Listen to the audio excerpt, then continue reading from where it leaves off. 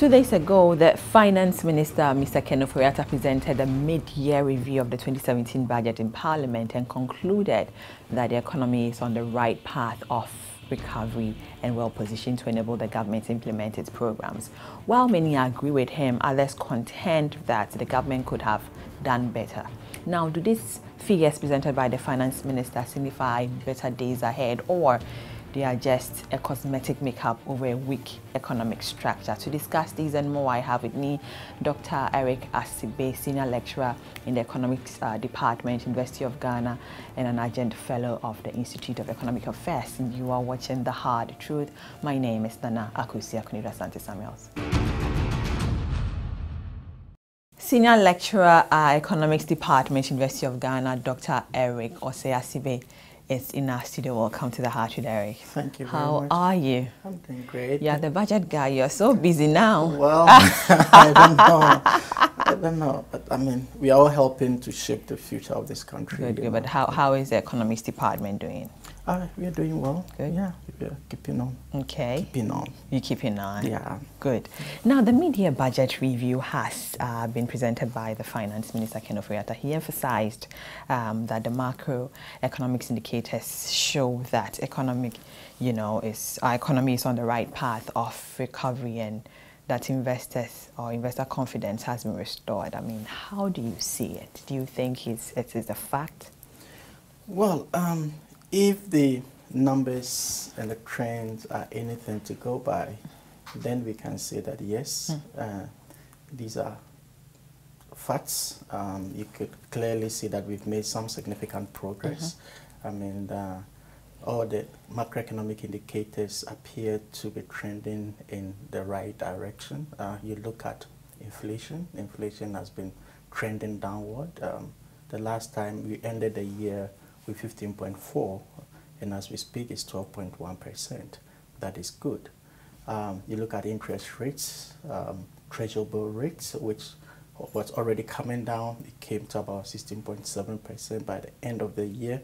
It's currently around 11. So what did he did he did he give us a clear picture? I mean, from yes, what he so, said. So I mean, yeah. the macro for macroeconomy, often there are certain indicators that will uh, tell you whether your economy is doing well or not. That mm. is at the aggregate level, mm -hmm. you know. So at the aggregate level, first you need to look at how these indicators are performing. And so you look at exchange rate. Exchange rate has remained a little stable, relatively stable compared to the same time last year.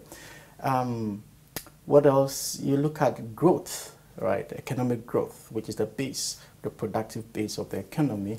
Um, the first quarter uh, data that the uh, ministry, uh, Ghana Statistical Service mm. put out actually showed that the country uh, grew by about 6.6 percent. Mm -hmm. Of course, we are yet to see the second quarter, which for me will be very significant because that is really when the NPP government actually took hold of the economy. Mm. The first quarter, they hadn't really settled well. So most of the, the budget was read in March, and so most of the effect of the, the policies and initiative would really reflect in the first I, am wondering upon what fact did uh, the finance minister say all of that? Investor confidence has been restored, things are moving on well. Why well, did he uh, yes, say so that? So in that case, you perhaps have to maybe look at investment uh, inflows. Uh, if you look at GIPC, you know, you're comparing the extent to which investors investments are responding mm. to some of the uh, reforms and policy changes uh, compared to the previous year. And if you can see a clear up or difference then you may uh, say that yes uh, confidence level is being restored. The uh, Bank of Ghana uh, also said that no Bank of Ghana conducts periodic market research mm -hmm. you know confidence levels of executives marketers and economists how they see the economy. And it looks like that also have improved. So on the on that score, we can say that yes, the economy appears to be on track, but there's still some no, but, know, but, but, uh, downside risk. Say, right. Some will say, well, he, he's saying yeah. things are improving, but it's not reflecting in our pocket. What would you say to that? Well, as, as for that, I mean, you will not see, it is not tangible for you to see that, I mean, some money should come to mm, your pocket. Mm. But the mere fact that you don't wake up thinking about the fact that you go to the market and prices have changed, you know, that you, you Is don't, you don't really Is it so about, oh, significant? I mean, how Yeah. significant is the change yeah, in the market quite, prices? Yeah, it is because it's adding more in terms of your purchasing power. You know, if for example milk is uh, three cedis, Hmm. you know, at the beginning of the year, and still remains three cedis, you know, it is good. If it's now gone up to three cedis, fifty pesewas, then you are worse off. Hmm. Yeah, you know, because your same three cedis at the beginning of the year could no longer buy you a milk. So if you can still buy milk at the same price, then it tells you that uh, that is good. You know, means that the rate at which prices are increasing, you know, has slowed considerably. So, but that will not mean that money really come into your pocket. Mm-hmm. The other way that maybe people may say, well, has it really generated enough job? Because that is where you see direct income coming Yeah, to your because pocket. investors eh? are coming in. Yeah, the mm. money that comes in. That one we are yet to see, you know, because I mean, most of the government policies, the one district, one factory, and the industrialization, mm. IPEP mm. policies, and all of that, many of them have not taken off, even as we speak. So, so uh, as to this point, what are some of the loopholes that you know you have identified in the review that you know the government will have to take a second look at? Yes, I think uh, few things, particularly with regard to the fiscal. You know, um, we are talking about we closing the fiscal gap. In fact, the government has reviewed the uh, budget deficit from 6.5 to 6.3, which is um, good because it's consolidating. You know, the, you are reducing the gap, which is which has an, implication for your debt stock and all of that. I'm sure we'll talk about that. So that has been done. But why did government do that? You know, the main reason why government closed that gap or reduced the fiscal deficit is because revenue is underperforming. We are not doing that well in regard to revenue. Um, if you look at the budget that was read in March this year, government projection was to increase revenue by 33%. And it was largely going to come from uh, corporate taxes and then uh, import duties, trade taxes. But all of these have underperformed woefully. So what that means is that your expenditure, you know, you have budgeted to spend certain amount. You may not be able to spend that amount.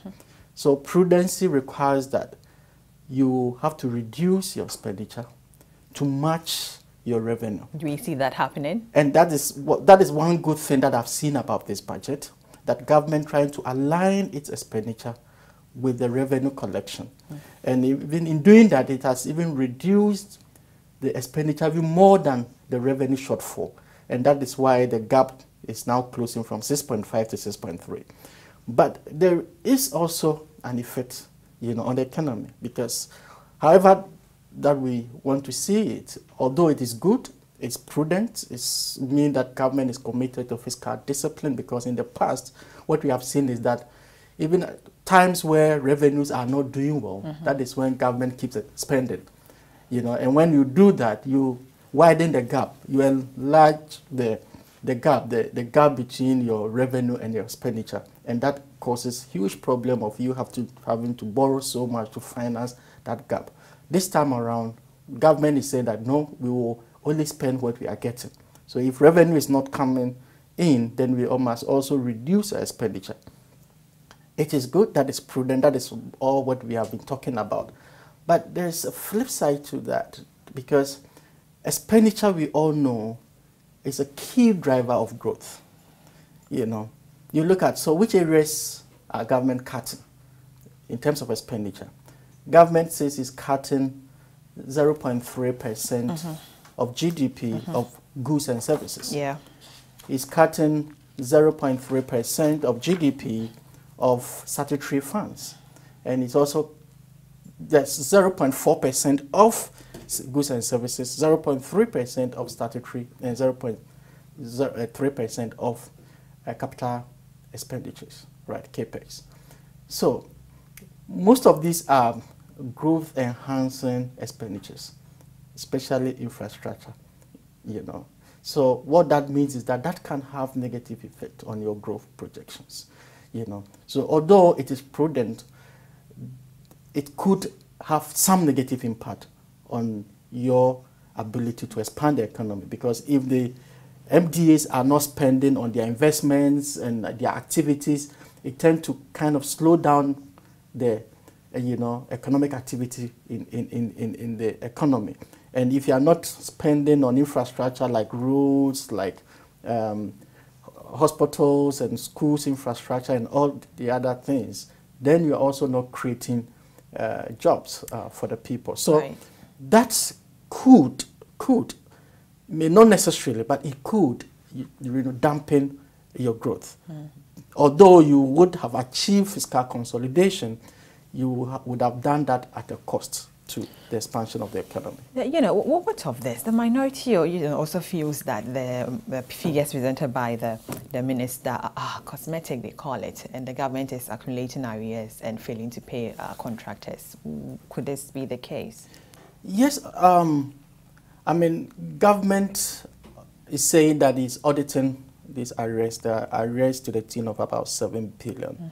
you know, Ghana cedis, mm -hmm. and some of which government believe that they were unwarranted, the, the, the, the, due diligence were not done on them. So government is actually looking into that.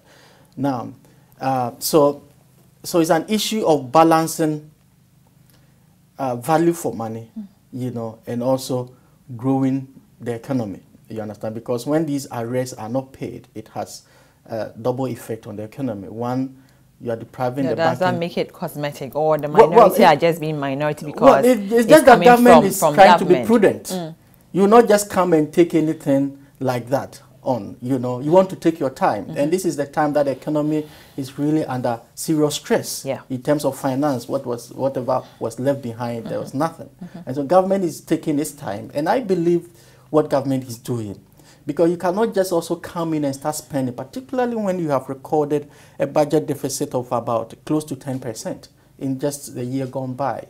You know, huge budget deficit, which had put a lot of things out of place. Mm. You know, off budget expenditures and the expenditures that were not approved and all of that. And so you need to take your time to try to stabilize things, to try to get your finances well in order achieve macroeconomic stability, then you begin to think about how to grow the economy. Mm. So for me, I'm all for that. But we just have to prepare ourselves, knowing that since we are trending this course, it definitely is going to mean that we need to sacrifice a little more. Arrears is important that government pays the arrears mm. as soon as possible for those that are genuinely contracted because it's also depriving the economy, particularly the banking sector, the, net, the, the needed liquidity. And also these contractors, you know, they need this money to invest in the economy or to hire people to do works and all of that. And so when you, they don't get their money, they also don't work. And it slows, you know, economic activity. And all of that can come back to help the economy, you know. Mm. So much as government wants to look into it, I think the process has to be expedited so that you know, those that deserve whatever contract that they were, they get these monies back and put it back into the economy because it's going to help the government itself. Otherwise, I think what government is doing is right. He couldn't have just gone ahead and, and, and even the monies were not there. During the uh, maiden national policy statement uh, summit this year, uh, you were have quoted to have said that no matter how well the macroeconomic setup is improved, we have a weak uh, productive structure that drags the ability of the productive sector to produce more to increase exports and trade, mm. then it's not going to be sustainable. That was mm. Uh, uh, uh, what you said. In your view, has it reflected significantly in the productive structure of the economy? Do you think so? Yeah, I, I mean, I always have the view that um, whatever macroeconomic stability that we achieve, if we do not have uh, our productive base expanding, it is not going to be sustainable. Mm. That's the gospel truth because if you can achieve fiscal deficit, you know, gap, you can bring it down. But if the economy is not growing for you to generate more revenue, you know, you have to keep borrowing and adding to your debt stock and adding to your interest costs and all of that come back to uh, increase your expenditures without necessarily increasing your infrastructure and all of that. And so the good thing about the present budget, you know, is about the government trying to balance the two because this is one of the budget that you could see a very deliberate policies towards the real sector of the economy, like uh, policies that geared towards uh, bringing in investments that would invest in the productive sectors of the economy. Mm -hmm. One district, one factory. Assuming all the districts are, are, able to get factories, what is that going to mean? It means that we're going to expand our productive base. You know, some of them are going to export, you know, and bringing more revenue, uh, foreign currency, which is more sustainable other than borrowing and all of that to show up our currency. And these businesses along the value chain uh, uh, are going to employ people from the productive to the transportation to the harbor and all of that. And so that is good, you know, not only looking at the demand-driven policies, looking at fiscal consolidation, how to cut interest rate, how to tighten monetary policy, you know, all of that for me, they are just cosmetic. They are just short-time, you know, gains. But in the long term, is to making sure that your agricultural sector is working and much more efficiently. You know, making sure that your manufacturing sector is expanding, is employing people, is producing at competitively rate and is exporting, you know. These are the things that will sustain the economy. And so the budget appears to reflect that, you know, kind of uh, feeling. But the problem is, how is the private sector going to respond? Mm you know, mm -hmm. because that is key, because uh, all the, the, initiatives are going to be driven by the private sector. So which means that you not just only put out the policies and the framework, but you must also make sure that the business enabling environment is conducive, you know, that will make it attractive enough for the private sector to put its money, mm. you know. Right. And so it's a combination of things that have to be We'll done. be right back.